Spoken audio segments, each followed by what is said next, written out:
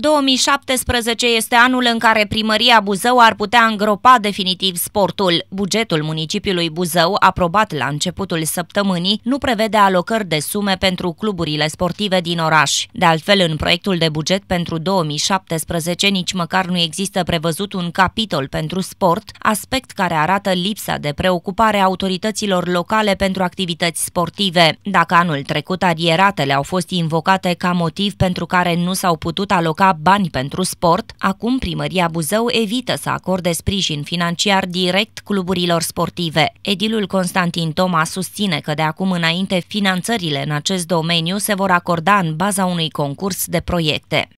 Pe actuala legislație sunt depuneri de proiecte, le vom finanța în măsura în care se vor califica. Deci au sume importante.